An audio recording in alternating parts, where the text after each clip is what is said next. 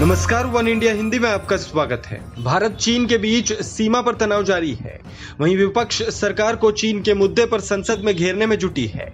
इस बीच राज्यसभा के सभापति एम वेंकैया नायडू ने गुरुवार को रक्षा मंत्री राजनाथ सिंह को सुझाव दिया कि वो देश के प्रमुख नेताओं की अपने चेंबर में बैठक बुलाकर उन्हें लद्दाख की स्थिति के बारे में जानकारी दे।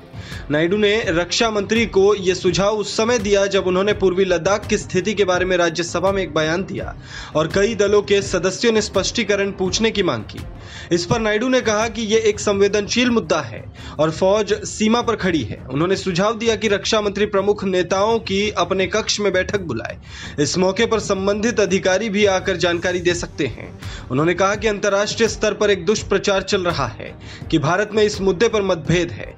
उन्होंने कहा कि हमें इस सदन से ऐसा संदेश देना चाहिए कि पूरा देश और संसद फौज के साथ एकजुट है। नायडू ने कहा कि भारत की परंपरा और संस्कृति, वसुधैव कुटुंबकम और सर्वे जना सुखीना भवंतु पर आधारित रही है। उन्होंने आगे कहा कि हज़ारों साल के इतिहास में हमने कभी किसी देश पर हमला नहीं किया है। ऐसा एक भी उदाहरण नहीं मिलेगा।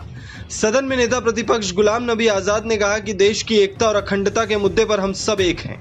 उन्होंने कहा कि उनकी पार्टी चीन के साथ विवाद के मुद्दे पर पूरी तरह से सरकार के साथ खड़ी है। लेकिन कोई समझौता नहीं होना चाहिए। और अप्रैल में चीनी सैनिक जहाँ थे, उन्हें वहीं जाना चाहिए। यह हमारा कोशिश होना चाहिए। कांग्रेस के ही आनंद शर्मा ने कहा कि इस बारे में कोई शक नहीं, रहना चाहिए कि भारत में एकता नहीं रहेगी। उन्होंने कहा कि पूरे देश में यह आवाज़ गूंजनी चाहिए कि हमें अपनी सेना पर गर्व है। इस खबर में फ़िलहाल इतना ही।